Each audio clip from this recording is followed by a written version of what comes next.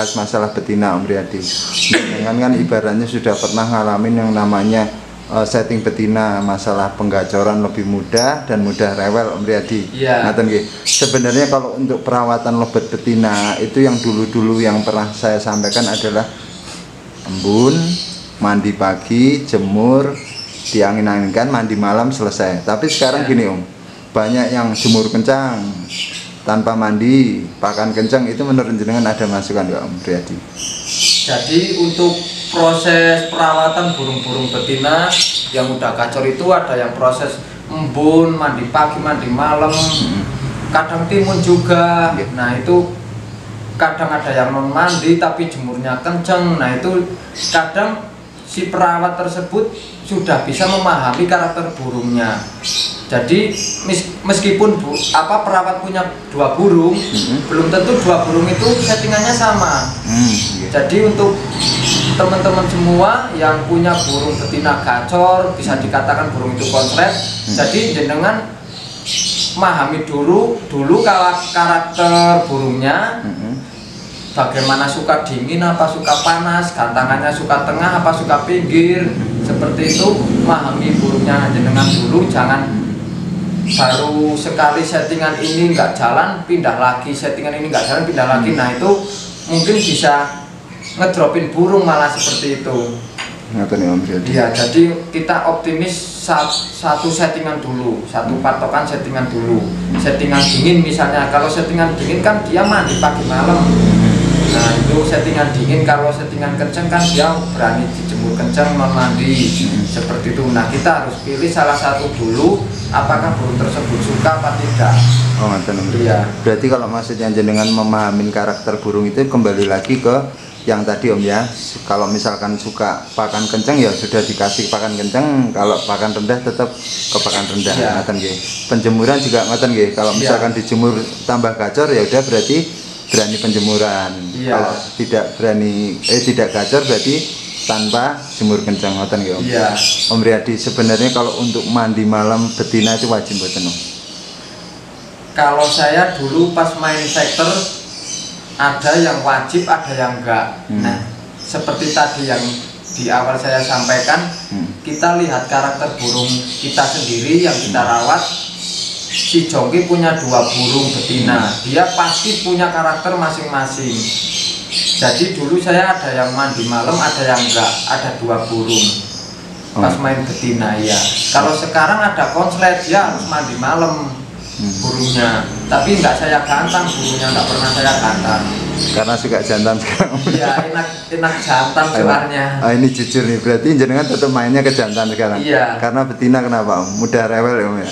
nggak nggak Apa, apa? rewel juga sih kalau betina ya bisa dikatakan punya keistimewaan Iya, benar nggih. iya Tentang durasi juga nggih. Om? durasi jeda rapat Hmm. kalau saya itu kalau di jantan kenapa saya milih di jantan dia patokannya kalau udah pasangan nyeting di kawinnya aja Oh, betul. seperti itu tapi kalau betina kan ada yang untulan balibu Hmm. masih minta loloh itu Oke, oke. nah itu kalau balibunya udah bisa makan sendiri nggak mau diloloh kita harus ganti lagi susahnya ya. di situ Mm-mm.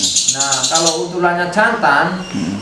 dia dikawin kemudian dia nelur posisi mau nelur Hmm. dia kadang trouble dulu Oh, seperti itu kalau mau maksimal lagi setelah dia telur keluar semua Hmm. Ya sekitar tiga hari mungkin dia baru maksimal lagi kan beda sama jantan kalau jantan butinanya telur malah dia tambah hitam biasanya seperti Ngaten, itu Om. Baik Om Riyadi. Om Riyadi gini Om. Kalau kebanyakan teman-teman ini yang pemain vektor gitu Om, pemain Oh, iya. terus ikut-ikut pengen ya mengusahakan ya, ibaratnya agar si betina ini stabil. Mereka untuk penjodohan atau main untul itu kadang-kadang bingung Om Riyadi. Iya. Jenengan ada masukan enggak Om? Karena kalau diuntul kadang-kadang dicabut dia kadang-kadang kayak semi tidur kan gitu. Oh, Sebenarnya iya. jenengan kalau untuk main untul itu ditempel atau lah jadi, jadikan satu Om Riyadi. jadi ini apa untuk settingan burung betina yang bisa dikatakan semi vector Hmm. vector tapi gacor kalau saya semi vector kenapa semi vector karena burung itu gacor Mm-mm. nah itu sistemnya kalau sistem untulnya itu jantan Mm-mm. saya sekat jadi saya pakai sangkar kotak itu Mm. sangkar ternak kotak saya sekat tengahnya Mm. cuman apa nggak dicampur Oh, dipisah cuman disekat tapi kalau untulannya balibu saya campur oh gitu. Maksudnya campur satu kandang Satu itu? kandang. Oh gitu. Iya. Itu satu ruangan atau memang kelihatan burung banyak Om kalau untuk burung yang seperti itu enaknya satu ruangan cuman burung itu aja Oh Riyadi. ya kenapa cuman satu burung aja karena untuk dominan itu betina lebih besar emosinya daripada burung jantan Mm-mm, benar. karena ketika burung itu lihatnya cuman kuntulannya aja Hmm. ketika dicabut lihat burung lain dia Kerja. emosinya naik akhirnya gacor tapi masih narung seperti itu Ngoten iya Kalau untuk membawa ke gantangan itu untulannya jenengan masukin jadi satu atau tetap ditempel Om Riyadi? kalau yang sistem tempel Hmm.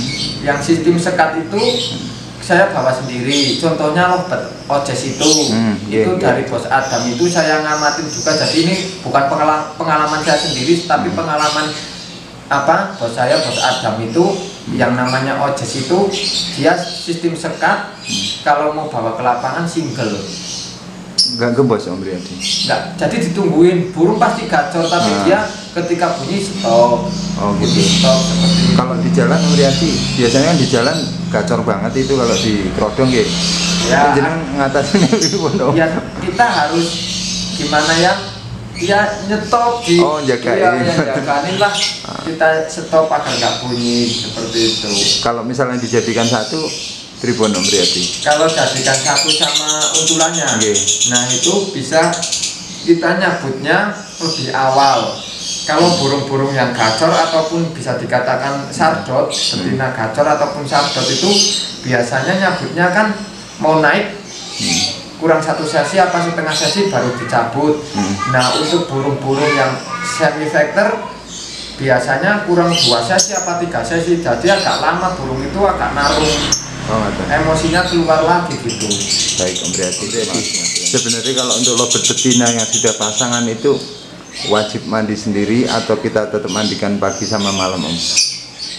Yang sudah pasangan Om Riyadi. oh yang udah pasangan kalau udah pasangan enaknya itu enaknya burung itu biasanya jemur sebentar terus diangin-angin tapi dikasih cepuk mandi Oh gitu. Kalau enaknya biasanya seperti itu ya. mandi sendiri enaknya dikelihatkan burung banyak atau tetap lihatin burung banyak nggak apa-apa cuman jaraknya jangan ditempel sama burung jantan Oh, ngoten. Berarti jenengan waktu penjemuran banyak itu tetap ada jantan betina tetap campur ya Om iya Nggak masalah gitu. nggak masalah kalau sistem seperti itu kan biar jantannya birahinya naik aslinya saya seperti itu Oh, kalau ada betinanya Oh gitu. Kalau misalkan betinanya ngeliatin burung samping-sampingnya ada jantan itu nggak masalah.